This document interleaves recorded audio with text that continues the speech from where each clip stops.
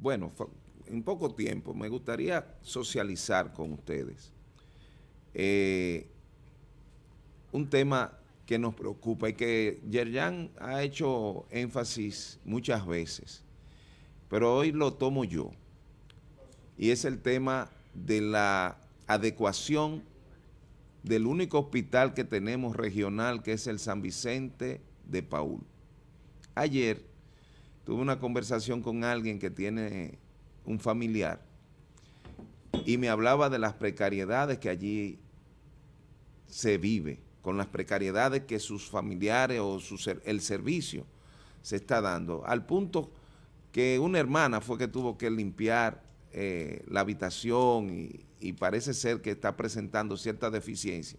Lo que yo llamo la atención, no como crítica destructiva de la administración actual, que es nuestro amigo el doctor Mieses, pero sí para advertirle que, ponga atención a esos detalles, incluyendo las mesetas o mesas de, para comer del, del enfermo, que muchas veces son personas mayores y no se sientan tan fácil en, una silla o en una cama cuando están convalecientes, que están recibiendo atención. Entonces, la única que encontraron fue en una mesa, en, otra habitación, cuando habían utilizado aquella, se la prestaron a este. Un asunto de, alternativa. Y estaba coja, que hasta se hace difícil.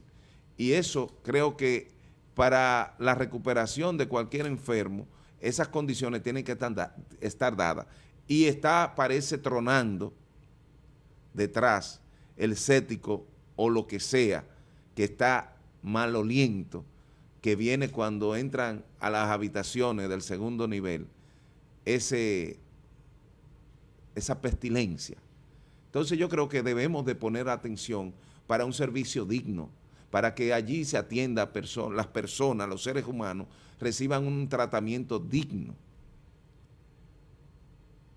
¿Y cuántas veces? Por eso yo digo, escucha una frase que te interrumpa, por eso que yo digo, si los comerciantes que dicen eh, no a la huelga, no van a los hospitales a ver la realidad de eso, entonces no pueden exigirle al pueblo, no, pueden, no sé qué está pasando. No pueden pretender que el pueblo los respete.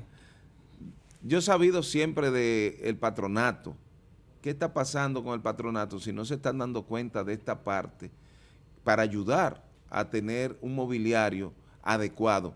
Quizás esta es la etapa en que se sientan que ya van finalizando los compromisos del San Vicente, pero ese centro va a seguir operando aparte de, del nuevo. Entonces, yo creo que eso debemos ponerle atención. Y ya seguiremos hablando de otros temas como es el tránsito de, de San Francisco de Macorís y las posibles soluciones de esta comunidad que ha presentado incrementos considerables en, la, en el parque vehicular y transitando diariamente, que ha puesto en condiciones de ralentizar el tránsito y sobre todo mayor consumo de combustible, mayor emisión de gases invernaderos, mayor eh, trauma social, porque cada quien que sale en una hora se trastorna su existencia cuando tiene que enfrentarse a un tapón o a una imprudencia de algunos conductores que hacen que se entapone más.